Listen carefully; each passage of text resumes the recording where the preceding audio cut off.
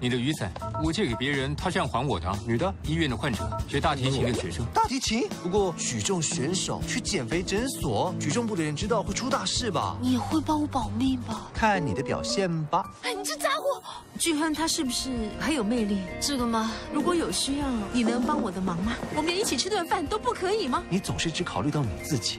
重新交往吧。举重妖精金佛珠，星期六和星期天晚上九点，U 频道。